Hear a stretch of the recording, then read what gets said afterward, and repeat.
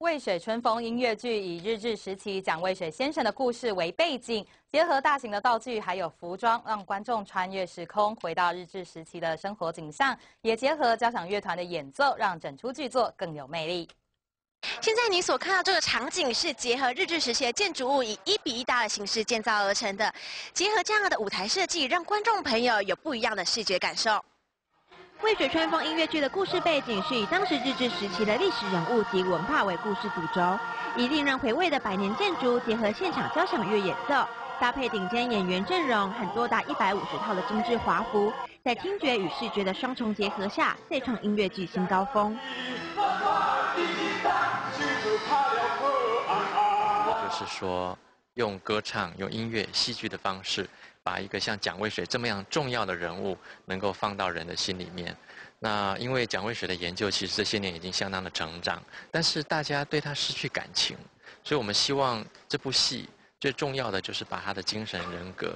再放到人的心里面。以日治时期背景为故事的剧情，对演员来说也是一大挑战。尽管个个身经百战，但依旧努力揣摩自己的角色，仿佛让生活背景追溯到了日本时期的统治时代，就是原住民的歌妓。然后在里面，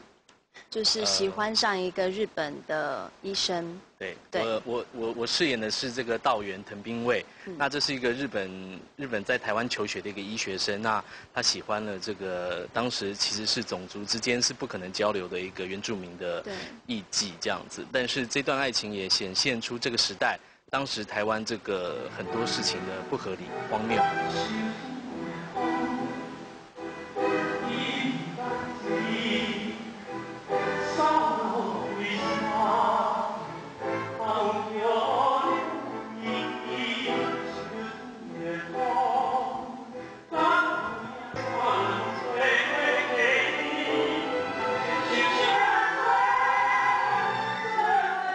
时代剧场《渭水春风》将挑战难度更高的历史人物改编音乐剧，十号到十二号在国家戏剧院见证这曾经被层层封锁的蒋渭水传奇，让观众一起回到那个令人动容的历史年代。